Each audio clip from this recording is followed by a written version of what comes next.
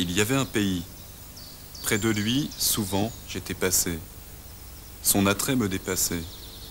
Un jour, il me fut révélé et j'en tombais amoureux. Le soleil planait à la gauche du paysage et le premier de ses rayons vint se poser sur ma tête. Un écho tout aussitôt se fit et je le libérai en ouvrant les yeux pour la première fois. Un village était là, imprégné de la culture des vignes et de la forêt, imprégné des hommes, imprégné de leurs histoires. Il était au pied d'un mont puissant comme le peut être une montagne. J'entrepris alors mon lever. L'ascension de ce mont audacieux qui portait l'horizon, sans doute depuis l'invention du paysage, par Dieu sait qui. J'avançais au rythme de la lumière. Il ne fallait rien oublier dans ma conquête du plus infime au plus grand. Plus je montais, plus je sentais le paysage s'élargir derrière moi. La vie prenait les dimensions du jour à mesure qu'il la nourrissait. J'avançais, paisible, au sein d'un univers paisiblement exprimé.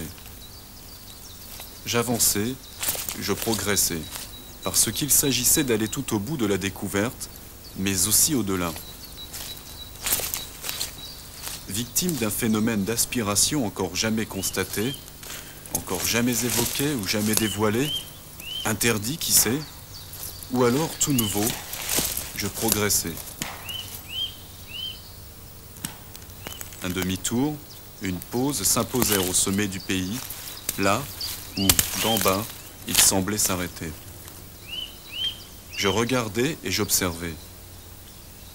L'image vibrante dont je pouvais lire les parcelles colorées, travaillée avec beaucoup de soin, beaucoup de temps par des aquarellistes sur papier libre, gondolée. L'œuvre mettait en valeur son support. Et pourtant,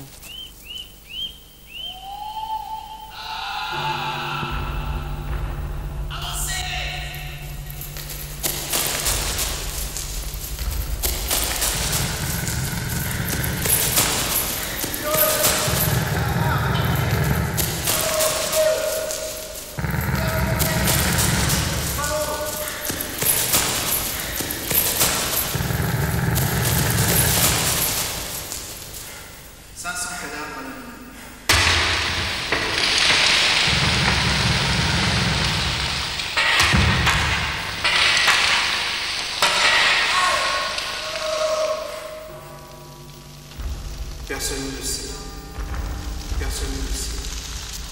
Personne sait.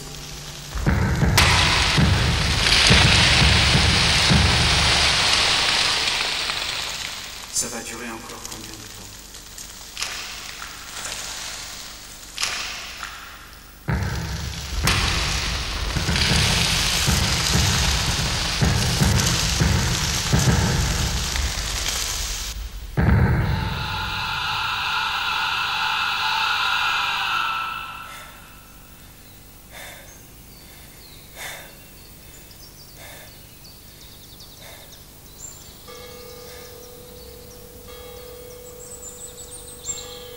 Et pourtant, tout paraissait gommé, l'homme violent. Ici, un drame s'était répandu, sous lequel la terre s'était contorsionnée. Le souvenir de ce drame reste au fond des tranchées et des creux qui affectent le sol. J'avais gravi le dos battu d'un bossu. Mont, monument, témoin malgré lui des souffrances de l'homme, il est le reflet des douleurs de la terre. L'humilité se joint à la beauté. Il y avait des pays. Près d'eux, souvent, j'étais passé, et leur attrait me dépassait.